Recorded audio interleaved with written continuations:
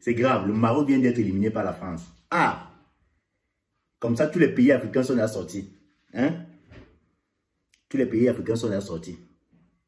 Vous voyez donc que le Cameroun, jusqu'à présent, reste la meilleure équipe africaine. Hein? Le Cameroun, c'est la meilleure équipe africaine actuellement. Parce que nous sommes la seule équipe à avoir battu le Brésil jusqu'à présent. Hein? Voilà.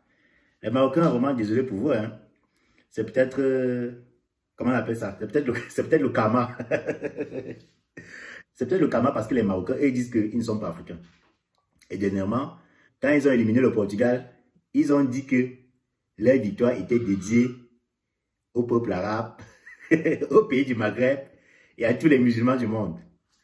Voilà. Malheureusement, même Dieu, même Allah n'était pas content de ça. Et aujourd'hui, les gars rentrent à la maison.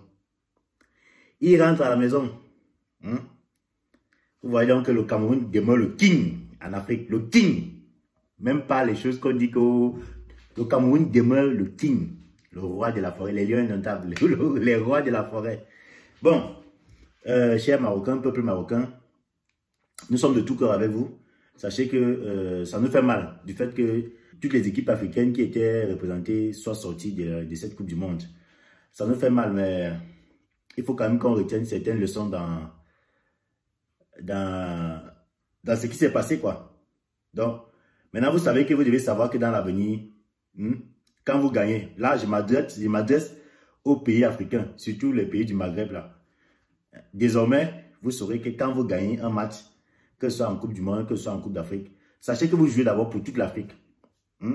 Quand vous venez avec les, les, discriminations, les paroles du genre, on dédie notre victoire seulement aux Arabes, seulement aux musulmans, seulement... Parce que nous, nous ne sommes pas africains, vraiment.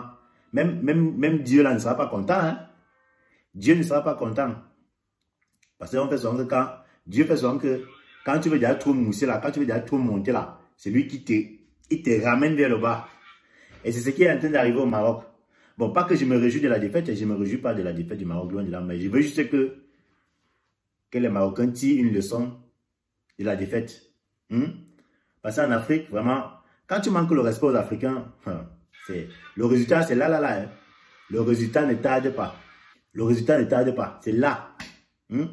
Parce que vous dites que vous n'êtes pas africain, donc. Pourtant, vous êtes sur notre continent. Et c'est la France, c'est les Africains qui vous ont éliminé, hein, parce que la plupart, toute l'équipe de la France, là, ce sont les Africains qui jouent dedans. Voilà.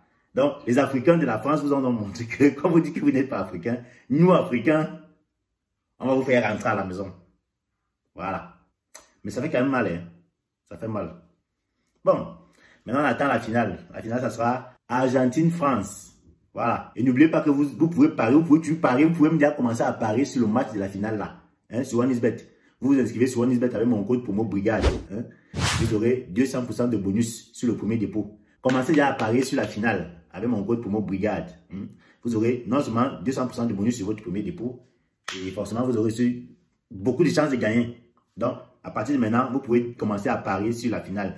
Qui va gagner la finale? Argentine ou bien la France? Donc, on dit à très bientôt pour la finale.